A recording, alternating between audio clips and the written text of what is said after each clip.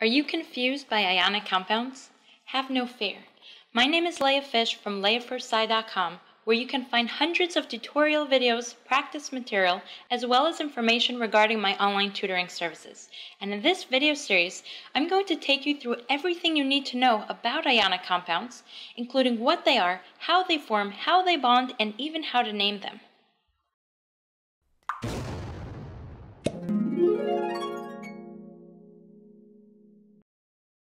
Ionic compounds play a very large role in general chemistry, so you have to make sure you're very comfortable with the concept of the ion, including how it forms, how ionic compounds come together, how you find the charges when they bond, how to calculate their numbers, and of course, how to name ionic compounds.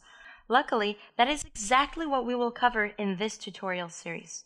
But first, what is an ion? Let's start with a long-winded and technical definition. An ion is an atom or group of bound atoms that are charged due to the gain or loss of electrons. Now, this is something you might want to put on your test paper, but between you and me, let's focus on something simple. An ion is simply something that is charged, and that means I can have a positively charged ion or a negatively charged ion. When an atom has too few electrons, think of it as missing that negative, and therefore it is a cation or positive ion. The way I like to remember the cation is to envision the T in the word as an actual plus sign, and that tells you the charge. An anion, on the other hand, is something that has extra electrons, and since it has extra of that negative particle, it's going to have a negative charge. And the way you can remember this is to recognize that it starts with an, which means without. Think of words, you know, like anemic or anhydrous. The an means without, and that means it's negative. One more concept to discuss before we move on, and that's the difference between a monoatomic ion and polyatomic ion. But once again, we can break down the words and see what it refers to. Monoatomic has the words mono and atom, where mono means one and atom is obviously the element in question. This is an ion that is simply made of one atom, for example, a sodium ion or a chloride ion. The other type of ion is a polyatomic ion, and this comes from the word poly, which means many, and again, atom or elements. A polyatomic ion is simply a molecule made of atoms bound together, but the entire molecule has gained or lost an electron and therefore has a charge.